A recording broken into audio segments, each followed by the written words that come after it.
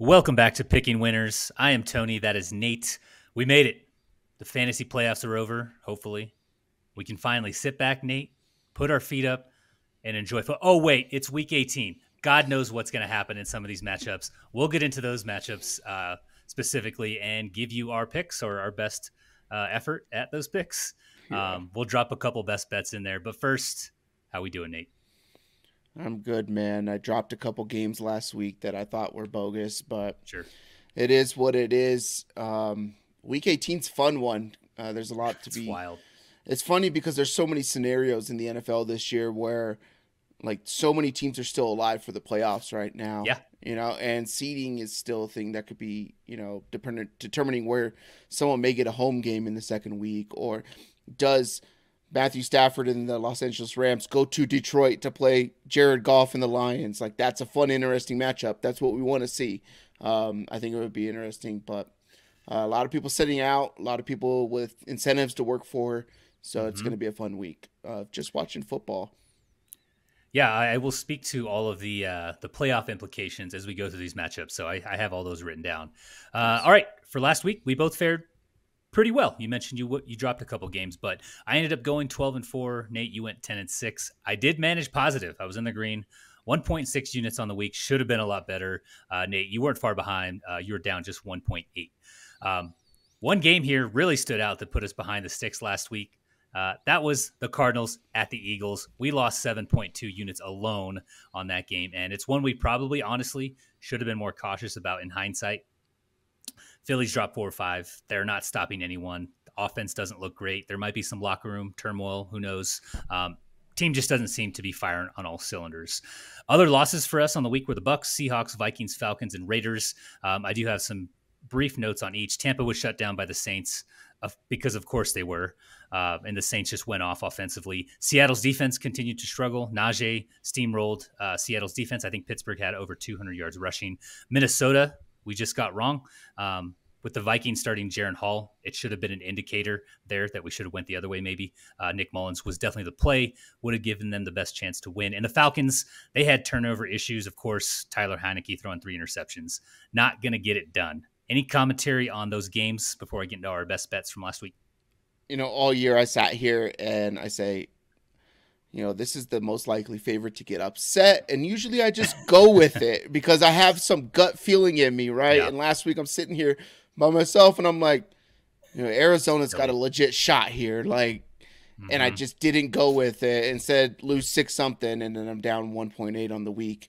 Uh, would have been a good five, six, you know, in the positive or whatever like mm-hmm. that to really boost me. But man, like, I don't know what it's been like this year, but I've just had this these gut feelings of like these big favorites and um, I didn't even bet it in my personal account either, which really really bums me out. Mm-hmm. But it is what it is, and we move on. Yeah, that one stung for sure. Uh, so for best bets last week, I took Puka Nacua over 68 and a half receiving yards. He's closing in on some rookie records, um, and he's just become an integral part of the Rams offense. So it seemed like low hanging fruit. That one hit. Nate, you took Mike Evans anytime score, and the Bucks shit the bed. Kind of mentioned that against the Saints last week. You hate to see it but it's Baker Mayfield who is ranked inside the top 10 amongst quarterbacks. So maybe some regression was due. Mm. Uh, any commentary on the best bets before we get into our week 18 picks? I probably should have just gone with the catches and the yards because those were pretty clear that they were going to force him the ball rather than hoping for a touchdown. But, you know, maybe you know, whatever. If Mike Evans is going to be the all-time Tampa Bay Bucks leading scorer, he's got to score three touchdowns this week. So, whatever those odds are, you know, like you're saying there's a chance they're playing at Carolina, but weather is, is probably going to be really bad this weekend on the East Coast. So I doubt that that ends up happening. They are down what their two top corners, Horn and uh, I forget the guy. So Dante J- Donte Jackson will be covering. Yeah, so yeah, maybe one, maybe one ATS. I don't know about mm, three. I'm not uh, fucking with it. yeah, for sure. Uh, all right, week 18 picks. Time to deliver.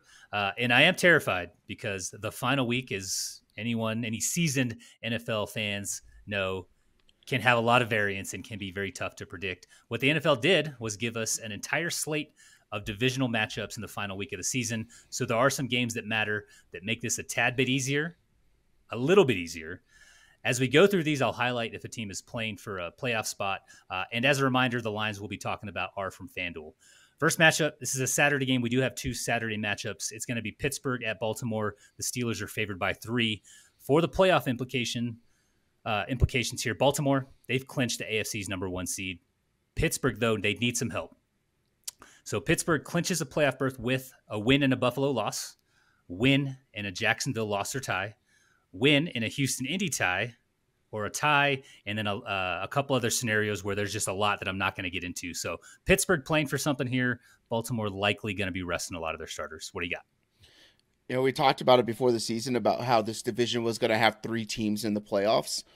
Um, the only thing was that I sat there and said that Baltimore was going to be the team left out, and they're the best team in the AFC. Number one. Oh my gosh! I don't know if you've heard this stat, Tony, but uh, in 17 years, Mike Tomlin hasn't had a losing season. Uh, probably really? should have factored, never heard that before. Probably should have factored that into last week that they were going to win a ball game. Um, it's interesting because a lot of people are calling for us. You know, hey, Mike Tomlin's got to get fired you know, and all this kind of stuff. And then there's mm-hmm. players coming out. Uh, I think I saw a clip from like the Kelce Brothers podcast, which doesn't seem to be as fun anymore. Uh, it's kind of comical, but um, where they're like, you know, the media is dumb, this, this, this, and it's like, you know, it is something to say that, you know, to, to not have a losing season in almost two decades in the NFL is pretty remarkable. Sure but the NFL is not about winning nine games a season. Like nine games or eight games back when it was 16, going 500, right? Mm-hmm. Like it's about winning and getting into the playoffs and Super Bowls, and that's not what they're doing right now. And I think he's done all he can do, all that he can do there. With this game, um, I'm going to go with Baltimore in this game. I get that Lamar sitting. I get that OBJ sitting. There's going to be some other players sitting on the defense. I think Kyle Hamilton will be out. A lot of their stars on the defense will be out yep. too. Um, Mason Rudolph's had two great games. They've put up 30 points in two games with Mason Rudolph, and he's going to be the starter this week. Pittsburgh is favored in this game, but you know what?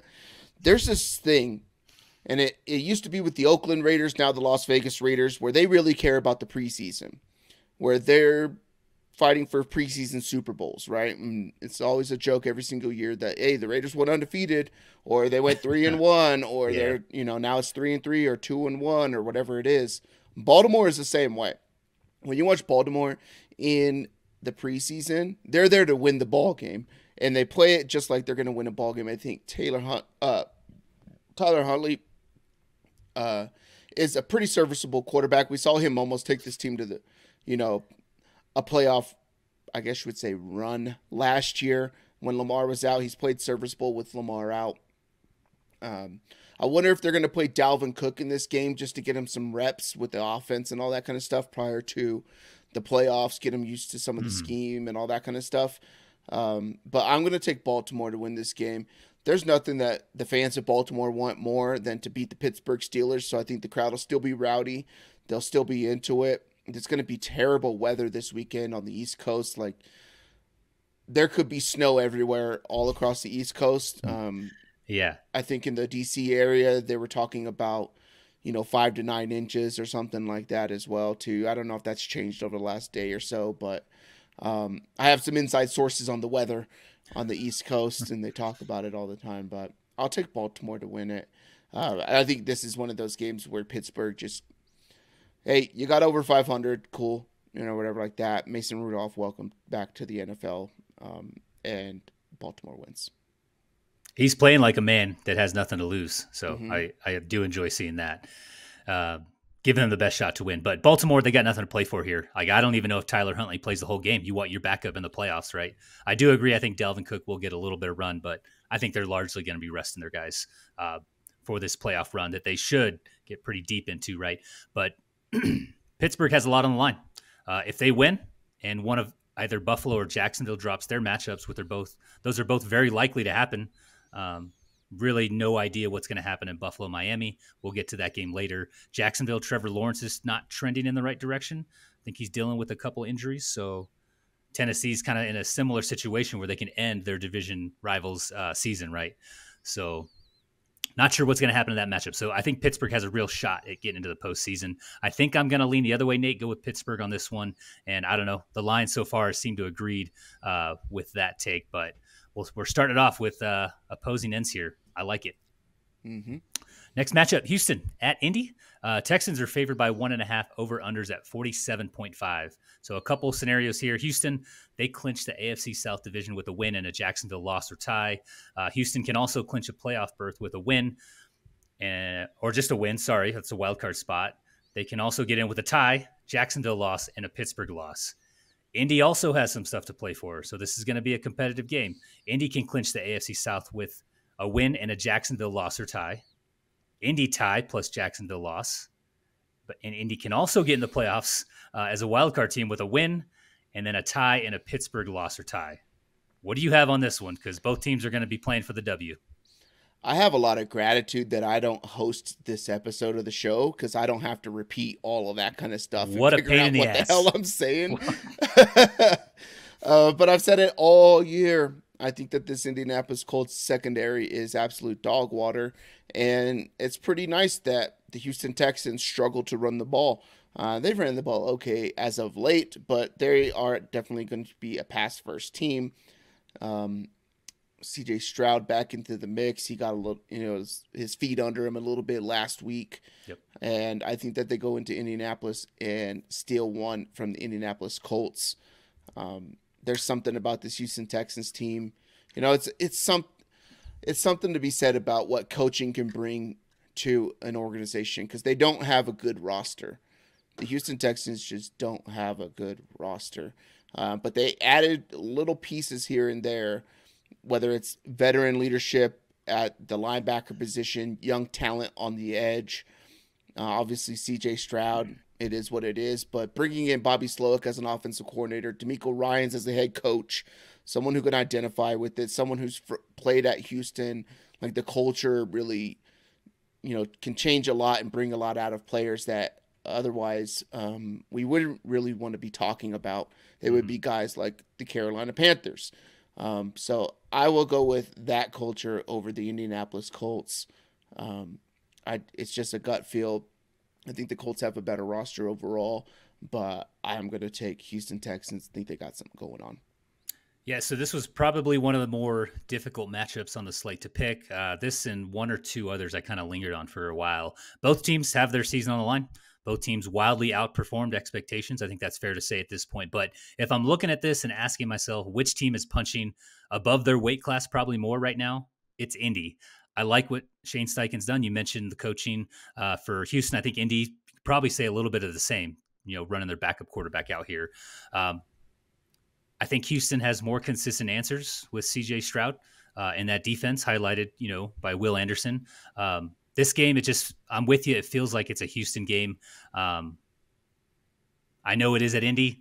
It's on the road for Houston. It's a rookie quarterback, uh, rookie head coach, but I, I, my gut feeling says Houston. I would like to see them in the playoffs more than I would like to see Indy. I think that would be a lot more fun. So, yeah, both of us on board with the Texans in this matchup. Mm-hmm. All right, moving on to the Sunday game. So we'll start with the early slate. The first game we have here is Cleveland at Cincinnati. The Browns have clinched a playoff berth. They are going to be the top wild card seed. Cincinnati, nothing but pride is that's all they're playing for here. Uh, who's favorite here? Cincinnati by seven and a half over under. It's one of the lower ones again. Maybe have some weather. It's at thirty seven point five. What you got for this one? Yeah, I think it's just stars that do it for me in this game, and uh, we're going back to whoever's playing quarterback for the Cleveland Browns that used to play quarterback for the Cleveland Browns, but uh, I think this will be number five that plays for the Cleveland Browns this week uh, on the season, like fifth different quarterback that they'll have, and they have a mm-hmm. playoff berth, right? I think they clinched four seed, um, four or five, but five, I, yep. the fifth seed. So I'm just gonna take Cincinnati, and since Cincinnati, I think I don't think that this is like a big rivalry right? I get that they are both Ohio teams, but this doesn't feel as big as like Pittsburgh, Baltimore to me mm-hmm. because there's not like a lot of history of these teams being good together. Um, so I'll take Cincinnati to win at home. Yeah, they have locked in. The Browns have that number five seed this season they've sustained, sustained some pretty devastating injuries, uh, which is why I think they'll be very cautious with their guys on both offense and defense in a game that literally for them means nothing. Uh, for both teams means nothing really. Um, I'm also taking Cincinnati and Nate. If the Bengals do win every AFC uh, win every AFC North team will finish the 2023 season with a record of nine and eight or better. So I think one of our calls was this would be one of the better divisions, if not the best division in the NFL. And yep. I mean, even with some injuries, right, to quarter, key quarterbacks here, they all still finished above nine eight. That's that's wild. Yeah. Wild. All right, second game here we have is Minnesota at Detroit. The Lions favored at home by a field goal. Over unders at 45.4 for playoff implications. Detroit, congratulations. You've clinched the NFC North Division title. Round of applause for them and Jared Goff. Minnesota, they can clinch a playoff berth with a win and some help. They need Green Bay to lose, Seattle to lose, Tampa Bay, and also New Orleans in two different scenarios. But three of those four teams, or all four teams, to lose and also get a win here against Detroit, which I don't have. But what do you got for this game? I'll take Detroit. I don't know. Like, I don't really know if they're playing everybody in this game, but uh, I'm not going to take anything that Minnesota's doing with a grain of salt no. anymore. Um, so I'll just take Detroit to win. I don't really know why. It's just uh, I have no faith in the Minnesota Vikings to do anything uh, on the offensive side of the ball. Uh, Rumors are that they're going to sign Kirk Cousins to a two-year, like seventy something million dollar contract. Right? What? Props to Kirk Cousins, man. He's done the NFL better than anybody's ever done the NFL. I get that the guy's never won a Super Bowl or anything like that, but he's going to go down as one of the wealthiest dudes that just bet on himself over and over and over and over and over. Right? Played through contract year after contract year after mm-hmm. con- like never Tag, holding tagged out a couple times, tagged everything like that. That dude's going to walk away with bands. Um, but uh, it doesn't matter in this game, so I'll take the Lions. Yeah, Detroit has the division locked up. Uh, what they don't have locked up is the opportunity to leapfrog Dallas for the number two seed. The Lions play in the early window, so they can get a win in this one and put that pressure on Dallas, who does play in the afternoon set of games. I'm taking the Lions, uh, and they might rest some starters after. I think they'll play like maybe a half, maybe like some type of preseason thing. But I don't think Minnesota's playing to win. Uh, didn't feel like it last week. Jaren Hall did not look like he was prepared maybe they had to just see what they got in the guy, but I I don't know. It didn't feel like they were trying to win that game, honestly, with as long as they let him in there too. Um, but how yeah, much, the line. Go ahead. How much does their coach hate Josh Dobbs? Josh Dobbs, maybe Nick Mullens for throwing that one pick two weeks ago. I don't know. Like one bad game out of Josh Dobbs, yeah. and it was just like screw it. I feel like he just yeah. didn't even want him there, and then the team traded for him or something like that too, right? Like, yeah. Like, yo, man, what are you doing? Like, you could have think, probably made the playoffs. I mean, coaches aren't immune to to tilting and making bad decisions, right? Uh, they were they were hot with Kirk Cousins right when he got injured, so you know you win one or two more, you're in the thick of things right in that wild card hunt. So may, maybe he just just made a bad decision, pulled the trigger a little too fast on on getting Dobbs out of there. But yeah, I, I thought he was the best quarterback they had. Mullens, he's fine, but I think those two are just kind of more the same. But with Dobbs, you get what you get on the ground. Yeah. Anyways, moving on now. Jacksonville at Tennessee. The uh, Jaguars are road favorites. They get three and a half. Over unders kind of low. It's at forty one point five. Couple of playoff scenarios in this one. Jaguars can clinch uh, AFC, the AFC South division with a win.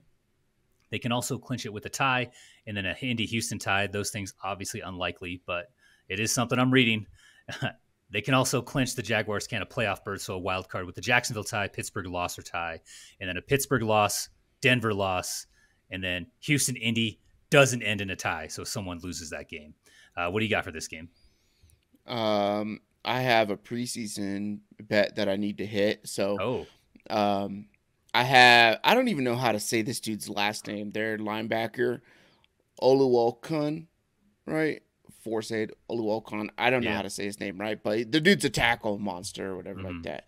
Um, but I have a preseason bet, um, a future for him to be the leading tackler in the NFL, and right now he's four tackles behind uh, Jaire Alexander for I think Jaire Alexander right for the Indianapolis Colts middle linebacker.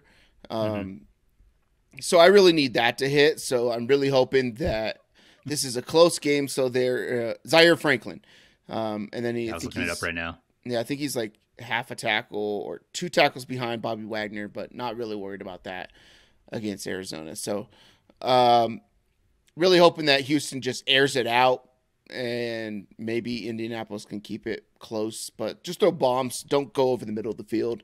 And then Tennessee, being a heavy run team, And Jacksonville being one of the better run defenses in the NFL, I think that Jacksonville ends up winning this game based off of that. The way to beat Jacksonville is through the air, and that is not something that is a strength of the Tennessee Titans. Mm-hmm. So I'm going to go with Jacksonville, regardless of who ends up playing quarterback for them, whether it's Trevor Lawrence or Blaine Gabbert or whoever the hell is CJ there. Beathard. CJ yep. Beathard, not Blaine Gabbert. That's someone else. he's playing for someone else this weekend, I think. So Kansas City. Yeah, Chiefs? yeah, yeah. He's playing for the Keys Chiefs. I was looking up that dude who's playing for the Chiefs, and that's why it was stuck in my head. But everybody who's been a Niner, uh, basically. So they're all the backups in the league. Yeah, but there's, um, there's, a lot of them. But I like that. I think this is going to be. I think this is a big under candidate. I don't see either one of these teams, you know, scoring mm-hmm. 24, 28 points in this game. So I'll take Jacksonville on the road. I don't like it, but if it's close, um, that means that Tennessee is able to run the ball and they're able to play a little bit of defense, and I like that for my future as well. So please pray for me. I need four more tackles than Zaire Franklin for the Indianapolis Colts. There you go. A little selfish of you, Nate. Uh, this one is for all of the marbles for the Jaguars. A win and they get the division and a home playoff game. A loss and they're potentially out of the playoffs altogether uh, for what was hopefully going to be like an up and coming team, up and coming season with Pederson and Lawrence there. But I'm going to take Jacksonville uh, against the Titans team that has a very hard time scoring 20 points. They failed to do that 11 times this season. I believe Tannehill's going for them. So I don't like that. Uh, give me the Jaguars as well. Next game here the Jets at the Patriots. So New England, home favorites, they get one and a half over under. Good God, it's low. It's 30.5. Who you got? Uh, if it wasn't uh, clear, no playoff implications. uh, at least we got that right in the preseason, right?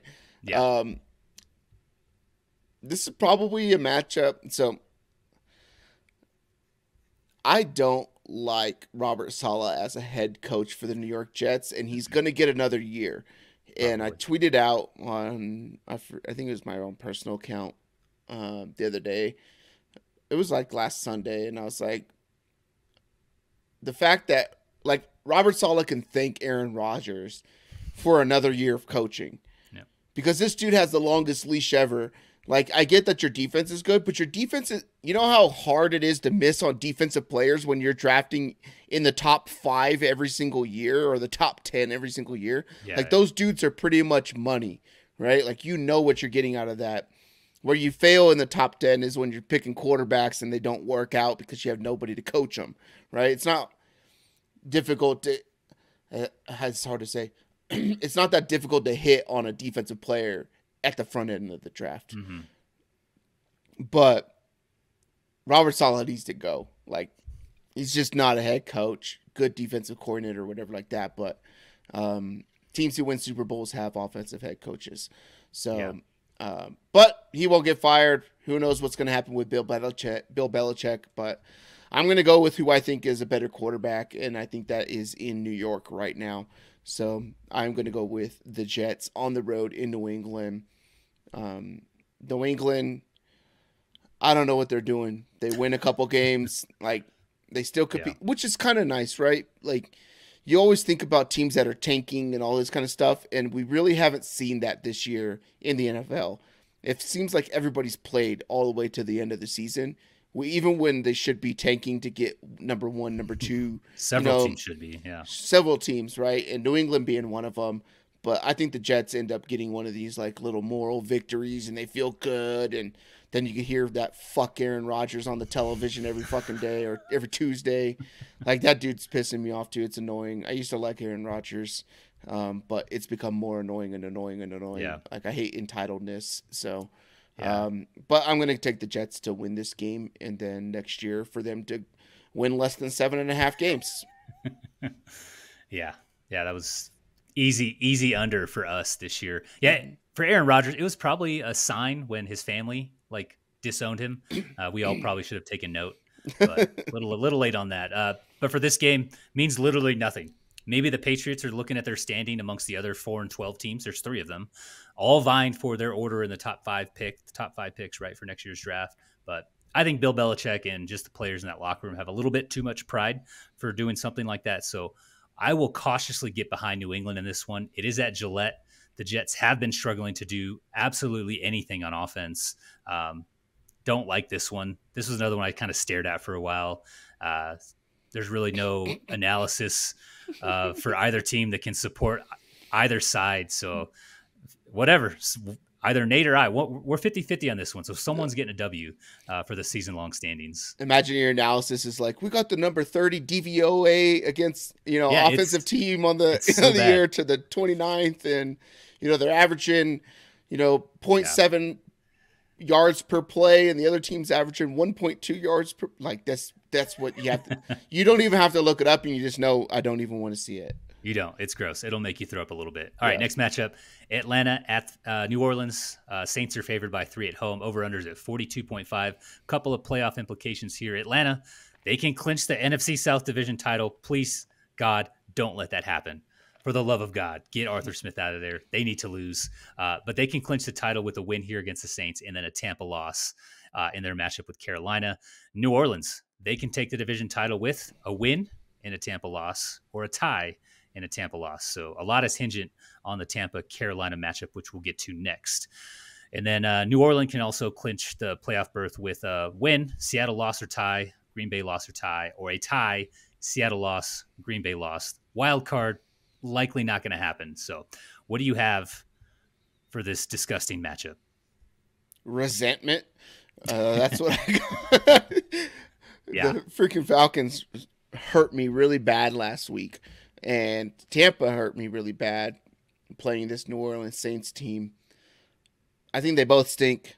Can't wait for both of their coaches to get the shit canned in this yep. offseason. I don't like when people lose their jobs. I'm not saying that, but for for what we want to see from an entertainment product on television Thursdays, because both of these teams are going to play a lot of Thursday games next mm-hmm. year. Um, we need new blood in the locker rooms. I wanted to pick Atlanta in this, but I cannot do it anymore because I cannot live. Finally, I cannot live with three hours of uh, anxiety. Mm-hmm. I have no more fingernails to chew. Um, I have no skin around my fingernails to chew. Like cuticles are all gone because I just bite them every time I'm watching this team play football. Yeah. So I'm going to go with New Orleans. Both of these teams stink. They should be relegated to the USFL or the XFL or whatever their combined league is. And if they win, then they can get back in the NFL. New Orleans for me. To be fair, these coaches getting fired, they're millionaires. They're not hurting for money. And usually there's like some guaranteed in there too. So they don't have to work to make money like the following year.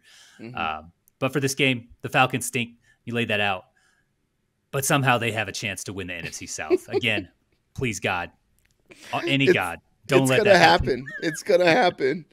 It's gonna give happen. the Saints the strength to not let that happen, because again, we need Arthur Smith out of the league or back as you know a coordinator or something. Um, but yeah, both of these teams need Tampa to lose to win the division, but they both would need to win this game or at least not lose if you're the Saints. I think the Saints are the better team. They are at home. They have that edge, and they're coming off a pretty good performance against the aforementioned Bucks. So they had a good division matchup. It's another division matchup. I think they'll carry a little bit of that momentum in here. I'm also taking the Saints. Uh, final Sunday early matchup: Tampa Bay at Carolina. The Bucks are road favorites. They get four and a half over unders at 36.5. The only playoff implication here is for Tampa. They can clinch the NFC South Division title with a win. They can also clinch it with a Tampa Bay tie. Or I'm sorry, Tampa Bay ties it and a New Orleans uh, loss or tie. What do you have for this one? I'm never picking Carolina to win a football game. Have we um, at all um, this year? I don't think we've picked one. I don't know. I have to go through it when we recap this next week. Sure.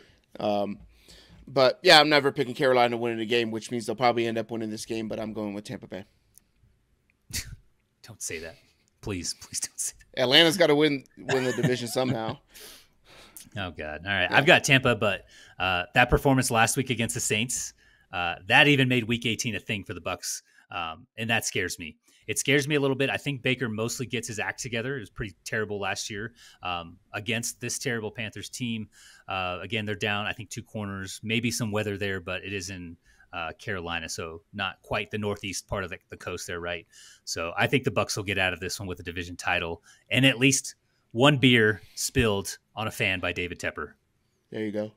Yeah. All right. Moving into the Sunday afternoon slate of games. First one is Chicago at Green Bay. Packers are favorite at home. Over under. It's a high one for these guys. It's at 45. Uh, playoff implications. Green Bay, they can clinch a wild card spot with a win. Um, and there's five scenarios where they can get in if they tie or lose as well. I'm not going to go over all of those. Thank you. Uh, it's easy though. They win and they're in. What you got? I got them losing. I think that this Bears team is on the up and up. And what would be better than having to deal with Matt Eberflus for another year in the NFL because he ends up winning a game on the road Please at the end, and Justin Fields plays well. You know, um, Justin Fields is also playing for a lot in this game, yes. while the Bears are not. He's playing for whether that's you know convincing Chicago to keep him there. I think he wants to stay in Chicago. I think he wants to be a Bear long term, or you know, marketing himself for another team next year. Um, so I'm going to take Justin Fields to do enough to beat Green Bay on the road in Lambeau because I think that what Green Bay did last week is kind of just smoke and mirrors against that Minnesota team. I get that Jordan Love's playing better. I get that they're mm-hmm. passing the ball a lot better, mm-hmm. but I am not a believer in that. I don't believe in Matt LaFleur. I thought that he would be one of the first head coaches fired this year, and it didn't happen because um, they went on a little bit of a run and they've progressed. But I'll take Chicago. So you're not feeling the love. That's what you're saying. I don't feel any love. All right. So I am looking at the quarterback play and the offense of Green Bay. Jordan Love, you mentioned they have been a little hot. Uh, he's peeled off 18 touchdowns to just three interceptions with a 104 passer rating over the Packers' last eight games. It's pretty good sample size, and that's you know that's recent, right? That's not the first half of the season.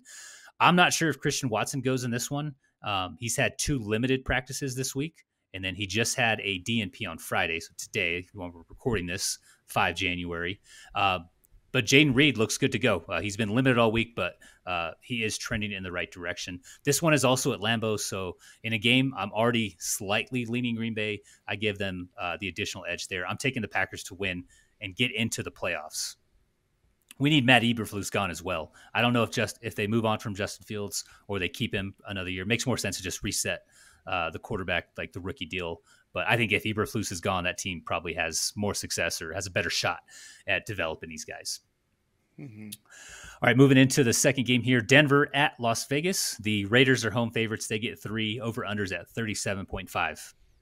Uh, no playoff implications. What you got? I'm taking the Las Vegas Raiders. I think that Denver is about to go through one of the worst periods that Denver's ever had. I don't know if players are going to want to be with this team going forward. Guys who are free agents coming in this yep. coming this year, right? No matter what what happens with the quarterback position, whoever they bring in, because they're going to bring somebody else in, mm-hmm. um, and they're going to let Russ Russ walk. But I would, I don't think that Russell Wilson goes back there next year. I think that I wouldn't. relationship's pretty much done.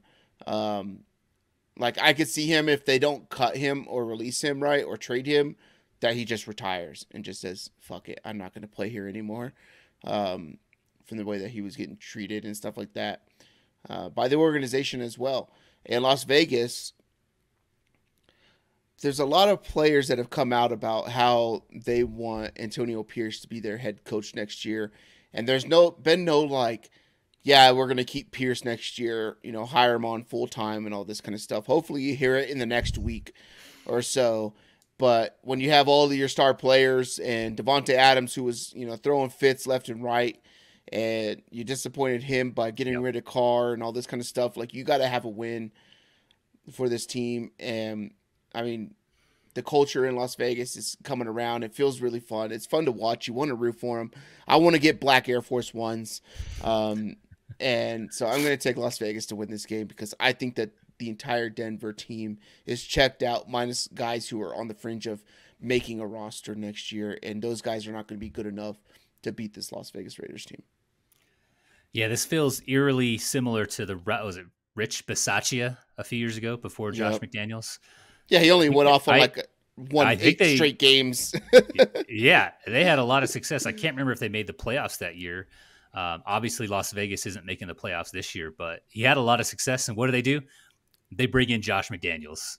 So mm-hmm. I feel like something like Adam Gase is going to get another shot to coach in the NFL, and oh, he's gonna God. he's gonna get hired over Pierce or something. Dumb Ron like Rivera. Like, Ron Rivera. Yeah, yeah. Uh, for this game, I, I, thought Denver looked god awful with Jarrett Stidham under center last week. Luckily, they're playing the Chargers with Easton Stick on the other side, right? The Raiders, on the other hand, they don't look great either. But what they have going for them is a players type coach who does have that locker room. Uh, and Pierce is coaching potentially for a job, as you mentioned, in 2024. Does he get one? I don't know. I hope so. Seems like he's done a pretty good job with the backup quarterback or the backup to the backup and not the best defensive unit. But for this matchup, I, I think they want it more. I am also leaning towards Las Vegas. Next matchup here Philly at the Giants. The Eagles are road favorites. Uh, they get five and a half. If this was a competent team they're playing, they probably would not. Over unders at 41.5. Uh, playoff implications on the Philly side, they clinched the NFC East division title with a win and a Dallas loss or tie, or a tie and a Dallas loss. What do you got for this one? I'm going to take Philly. Um, they seem to be in shambles. They seem to be in shambles yeah. for a little while too, right? Like, and you kind of knew it as the season was going on, where it's like, oh, they keep winning these like really close games. They're not running the ball well, and then it looks like Jalen Hurts is just always hurt because during the middle of the season they stopped tush pushing, right? Like third and two, third and three. You knew what was coming. Two straight of those, get the first down and keep it moving. Mm-hmm. Um, I don't know if they're just trying not to get that play banned or whatever it is, but um, but they just don't look good at all. But you know, Daboll is jealous of reporters' hair. I don't know if you saw that clip out there. Did, did you see that, Tony? I think I saw a piece of that. Yeah. Yeah, and like he, the reporter was asking him a question, and he basically says, "Sorry, I was just looking at your hair." in the report, "What are you jealous?" like, dude, Daboll's a pretty big dude, and you sound like you're like 130 pounds, five foot mm-hmm. seven, dude. But, um, but there's there's no playmakers on the Giants. Like, they're all really short yardage guys, and the way to beat Philly is to throw the ball down the field. And I don't think that they're going to be able to throw the ball down the field. I don't care who's playing quarterback, whether it's Tyrod or DeVito or uh, even if Daniel Jones were to come back, you know, with a with one knee. But I'll take Philly to win the game.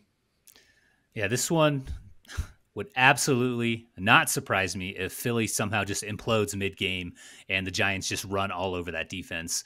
The only thing Sirianni has going for him is that Dallas plays in the same window of games. So they need to win, not knowing the Cowboys' outcome. I think Philly pulls through as well and gets the win, but it's a scary proposition. Um, you mentioned their recent struggles. They've lost four or five. Uh, at the very least, we're only uh, paying 2.3 units here versus the 6.2 last week. So this one won't bite us. It's actually 2.4 now. Uh, so I don't know. I, I'm leaning Philly, but after last week and you know a couple of the losses, like it's it's it's scary. Um, yeah. Probably in real life, staying away from this one. Uh, moving on here, Seattle at Arizona. Uh, Seattle favored by a field goal on the road. Over under high, it's at 47.5. Playoff scenarios: the Seahawks they can clinch a playoff berth, so a wild card with a win. Green Bay lost or tie, and then there's a couple tie scenarios uh, where they need some help. What do you got for this matchup? I spent a lot of time on this, and by like a lot of time, I mean like ten more minutes than I did on any other one. Wow. Um, but it, but it, it definitely, I was, I was confused on what to do because mm-hmm. I think that Kyler still presents a lot of problems for a lot of people.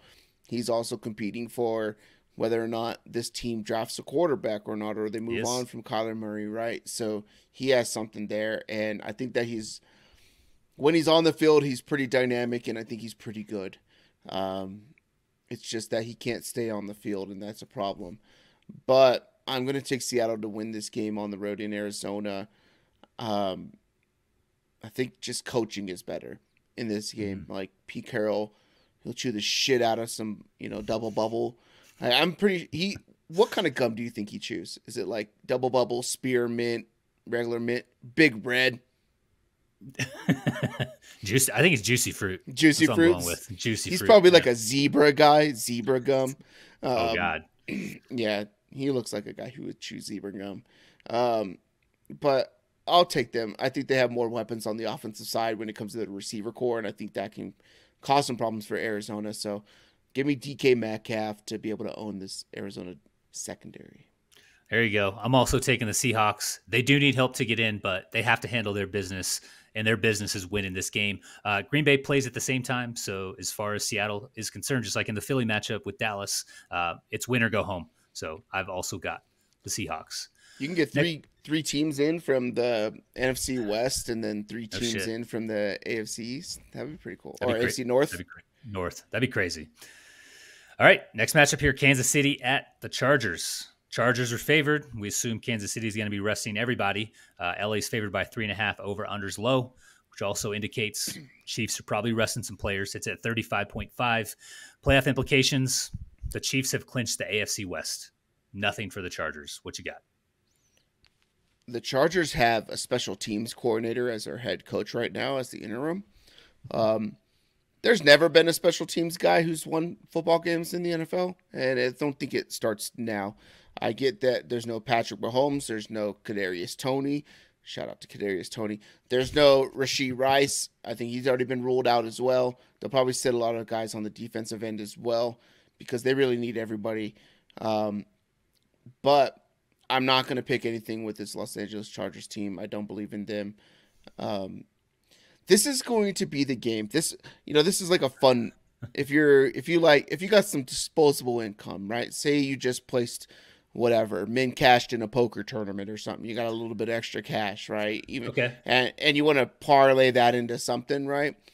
This is the game where Kansas City doesn't drop a damn pass. Like completion percentage for Blaine Gabbert's going to be like 95 and all these other guys Skyy Moore's going to get some run uh, maybe MVS gets a little bit I don't know if he does or not uh, what's his name John Ross is that he's on the team I don't know Just, Justyn Ross Justyn Ross Justin Watson uh, no, they have a Ross on their team. There's a like, Ross. It's a Justin with like a TYN or something like yeah, that. Yeah, something like that, right? Like these dudes are just gonna ball out, and then everybody's gonna be like, once you know MVS drops a pass, or you know Justin Watson drops a pass later on, or Toney, they're gonna be calling for these fifth, sixth, seventh wide receivers on this team to be playing. Like you have these guys, and they don't drop passes; they catch everything, you know. And I think that's what ends up happening in this game. It's a fun way uh, to bet, like some of these guys who are going to be playing. Um, so I, I'm all about the Kansas City Chiefs this weekend. Justyn Ross is an interesting one. Yeah.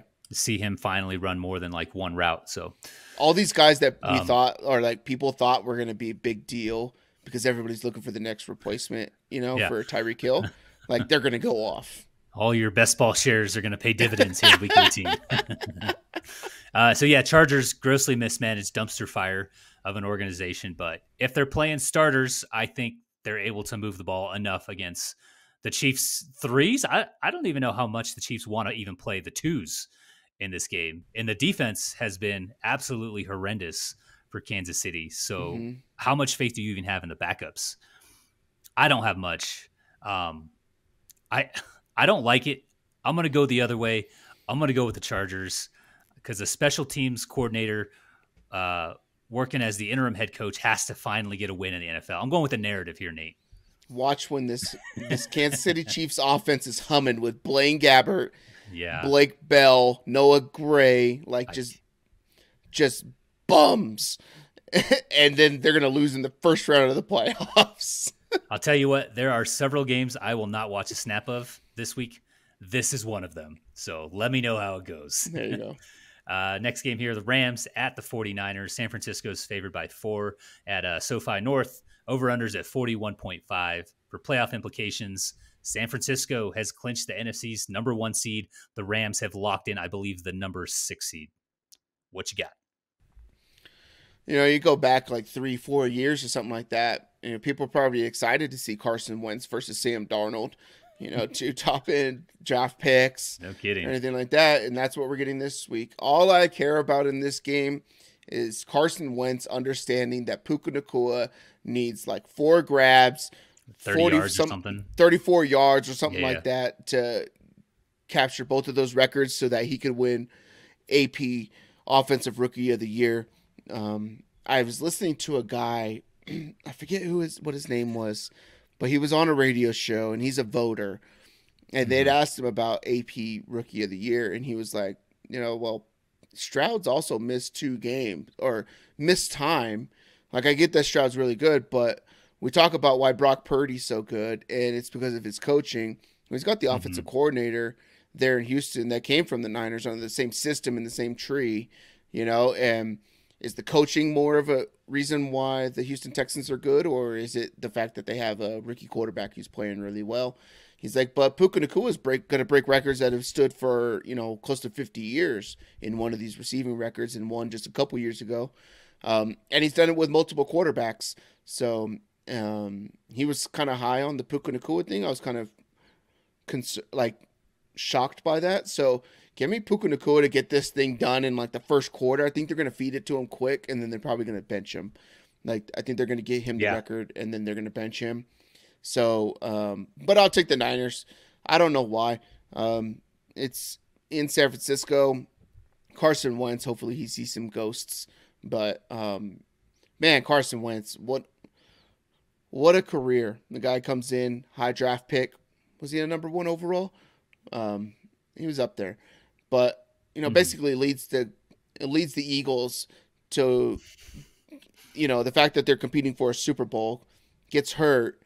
Nick Foles wins one, and then it's over for Carson Wentz after that. Yeah. Like pretty wild ride, but I'll take the Niners. Yeah, I, I like your Nacua argument too. And honestly, they they limped they limped into their bye uh, with Cooper Kupp missing what was it four weeks? He went on Yeah. IR, right? And then when he came back, you could tell he wasn't hundred percent. But they limped into the bye week at three and six. They very easily could have been zero and nine if it weren't for the emergence of Puka Nacua. Because who are you Yeah. throwing to? Tutu Atwell and Ben Skowronek. What Yeah. school did that bum go to? And he's setting all these records with Cooper Kupp on his team, right? Like Yeah. after, even after he still played pretty well. arguably a top two or three one-two punch at the receiver position now that Cooper Yeah. Kupp's healthy. And since the bye, uh, Rams are six and one, so very very impressive. There's an Uh, argument for Matthew. St- Like, be, I get that Lamar is probably going to win the MVP, but I think there's people out there, and this guy was talking about it too. He was like, "Well, Lamar doesn't have counting stats, and you know their defense is actually the strength of their team, mhm. you know, and their coaching is really good."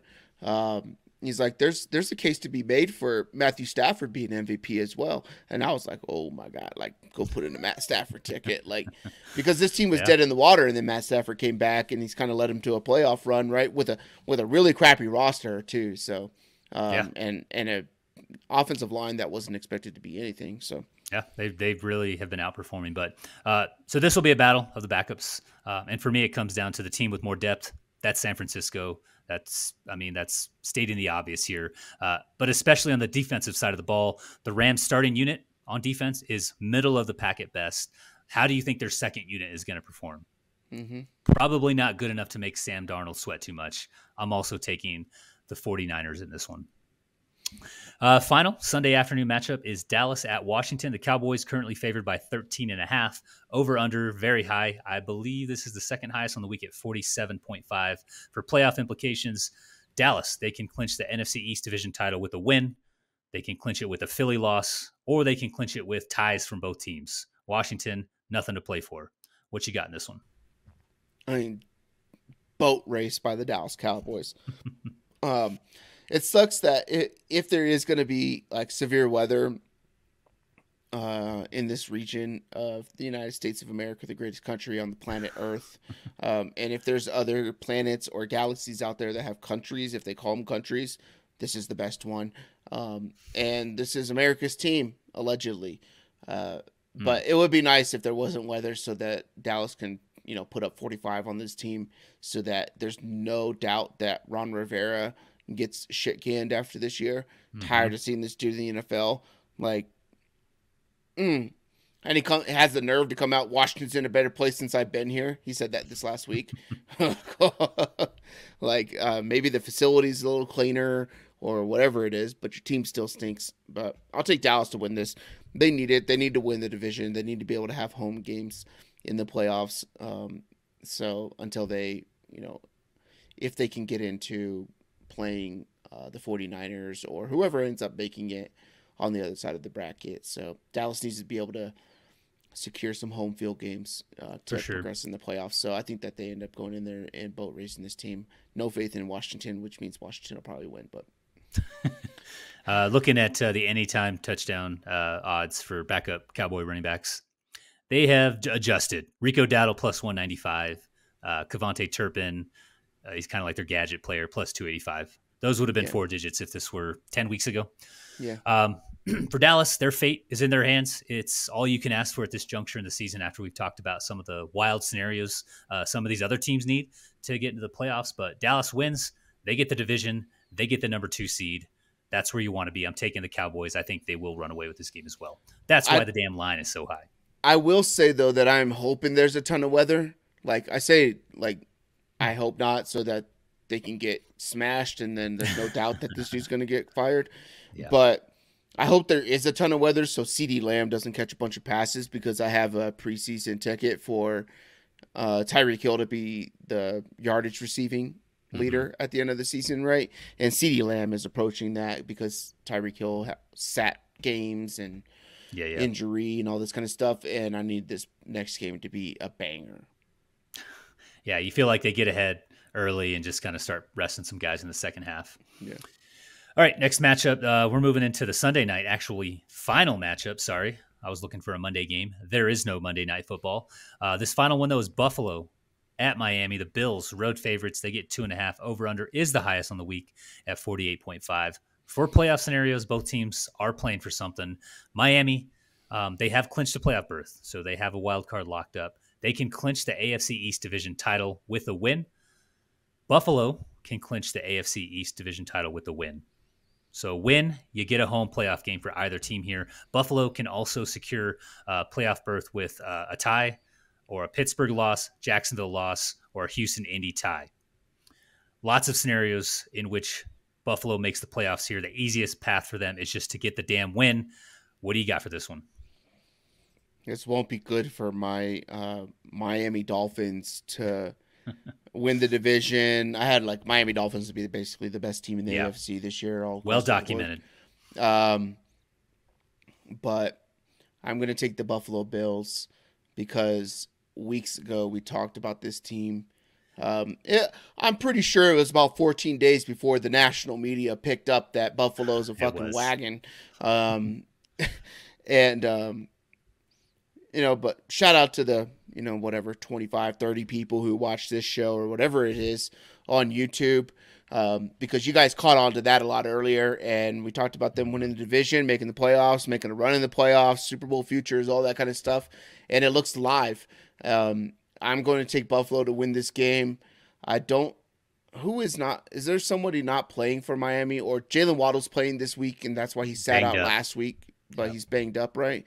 So it'll be interesting to see what what happens with them if they're just like, hey, we're content being in in the playoffs. Um, and they seem like as fun as you know Mike McDaniel is and everything like that. They seem like a team who would just be like, yep, hey, we could win on the road too, or something like that, which is really awkward because that costs your franchise a lot of money to go on the road in the playoffs for mm-hmm. what you could charge and have for you know concessions and everything to have a home game, right? So. Um, but I'm going to take Buffalo. They looked shaky last week. They've looked shaky for a couple weeks here and there, but they they find ways to win. And Miami is the team that when they get punched in the mouth, they find ways to lose. Mm-hmm. So I'm going to take Miami to lose this game. Buffalo win the division, and then we're rolling because we got that'll be nice too because you get that nice Buffalo to win the division.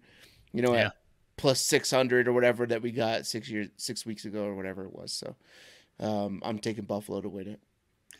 Yeah, Buffalo has been favored as long as I've been looking at the lines. So maybe the cat's out of the bag. Uh, looking at the the odds presently, it's definitely out of the bag for the Dolphins.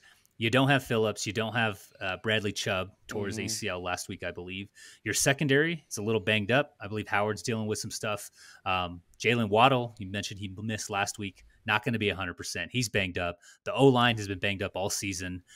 This isn't the same 70 point Dolphins team from week three. Uh, I think that's when that happened. I'm taking Josh Allen to put the game on his back, to use his legs. I'm taking the defense to put pressure on Tua, force him to make a handful of mistakes. I've got Buffalo, and I've got multiple Buffalo uh, tickets in the playoffs to win the division. Uh, I did hedge it. Nate shared a, a, nice little tip for us with Miami winning this one, but man, uh, the payday will be a lot nicer if Buffalo could pull this one out. Yeah, I'll probably have. I'll probably bet Miami like money line right? Because you're going to get, oh, what is it? You know, whatever, 128, 130. Right yeah. It'll probably go up a little bit or it'll come back, but it'll probably be close to even money or whatever like yeah. that. I'll probably, I'll probably bet a little bit on the Miami side just to hedge it because I have such yeah. long odds on the Buffalo side of the house. So, um, but man, that was a good, like, we did a mm. good job there figuring that out, you know, six weeks ago before they kind of went on this run. So, absolutely. Uh, props All to right. us. Pats on backs. Uh, on the week, to get to one unit of profit for each correctly picked game. That's what we've been doing all season. It's been going terribly. I'm wagering this week 37.5 units. Uh, Nate came in a little lower than that, picking some of these underdogs. He's at 34 units.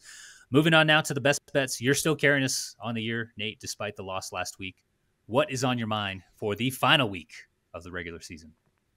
I don't like much, um, and I don't even like what I'm betting but it is what I like the most, um, and that is the Houston Texans minus one.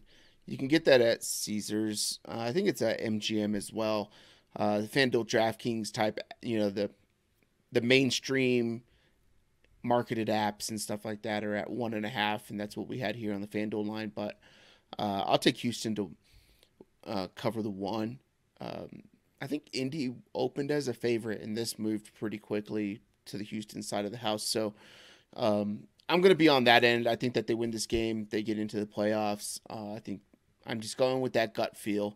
Mm-hmm. Um, another one I would like, and I kind of wanted to do was Baltimore um, plus the three, but um, or it was four and a half when it opened up, and I would have liked that, but at the three I don't. So, mm-hmm. Um, yeah, I'm gonna go with Houston minus one. All right, I, I dig that. Uh, so for my best bet, I had some decent luck uh, with longest rush earlier in the season. Um, Gibbs, uh, uh was it Mitchell before he went down? Uh, Achane uh, a couple times uh, this year. So I'll go back to the well in the final week of the season. Why the hell not? I'm taking James Conner, longest rush over 16 and a half yards. On the year, he's sixth in runs of 10 or more yards. He's missed some time as well. He's seventh in yards per carry, top five in rushing yards per game. Um, needs 100 yards. If you like narratives to top 1,000 on the year, do they get him there? I'm not sure, but I believe he'll get you know his normal uh, lion's share of the workload there. Also, uh, Conner has had 22, or he's had a run, sorry, of 22 or more yards in three of the Cardinals' last four games. So he has been trending up, getting a little healthier, and and the cherry on top, Seattle uh, very porous on run D. They just gave up over 200 to Pittsburgh. Uh, you can find this for minus 105 at BetMGM. Currently, it's the best I've found. Nice. All right. This is the final week of the regular season. No stresses of fantasy football. Hopefully, you're not playing in a league that's playing this week. Uh, just DFS if you're normal, uh, if you're not a bozo, and sports betting uh, if the folks listening dabble. But final thoughts here before we bounce. Um, I'm gonna have to listen to the week one episode of this uh, little series we've done because we did make a bet on uh, we made a jersey bet right? And i don't remember what it was if it was total wins losses or if it was like total profit. And i think because i think it might have been total profit. Um, yeah. and if it's total profit currently i'm ahead by six units. Um, i'm down 17 and a half and you're down 23 and a half um, but you have me on wins, um, three more wins on the season. So I'm gonna have to go listen to that episode. I don't really like listening to what we talk about and stuff like that over and over. Yeah, but yeah. maybe I should do that more. But um, this week is for a jersey. I don't know. Like, is it regular season? Is it the full year? Because we're gonna go through the playoffs. Like, we got to figure that out. Maybe tally in the best bets. I don't know because that benefits me. But um, looking forward to the playoffs. We talked about what we're going to end up doing for the playoffs um, because there's going to be less games. You know, we're going to do our regular picks. We're going to do a couple against the spread, uh, a couple props, and like a teaser of the week or whatever like that that we're going with. So there'll be a little bit more of what we're what we're going to be betting during that time frame, and you could tail it if you want, or you could go against it if you want. um, it. it doesn't Doesn't bother us one bit. We're not here telling you what to bet or whatever like that. We're just telling you what we're doing and seeing if we could become profitable because that's fun. I like learning. So um, I'm gonna have to listen to that episode, and we will fill you in next week on whatever that I- is. But you should I go already- listen to it too. You go listen. I already know what it. I already know What what, is- it is. what it was it? Seattle over 500. They're currently eight and eight. No, Yes. no, we had Yes. a bet based off of who who wins this season too. I don't remember that one. I remember the Seahawks one specifically, and then we changed the jersey thing because initially you said the loser uh, is the one who would be receiving a jersey. I was like, Yeah. nah, we got to change that up. But yeah, may- maybe there's two bets on the line here. Uh, I'm gonna have to definitely that out. Seattle. Seattle needs to win for me to cash uh, cash on a Jared Goff jersey or something. We'll see. Yeah, cool. But yeah, we will have some minor changes for the playoffs. Uh, Nate's kind of alluding to that. Looking forward to that. But thank you guys for listening, watching, sharing uh, with your dads. I've heard from Nate that they dads love uh, football podcasts on YouTube. Yep. Uh, it's been a really fun year. Uh, I think Nate and I have both uh, learned a ton, and I know we didn't get the results we wanted with the unit totals. Wins and losses are, are great, but it makes me want to continue doing this to just refine our process and attack this again in 2024. Yep. But for Nate, for producers Nick, Oliveris, and Matt Graham, we'll talk to you on the next one. Love you. Bye. Nick's gonna be happy. You look seven years younger without a beard.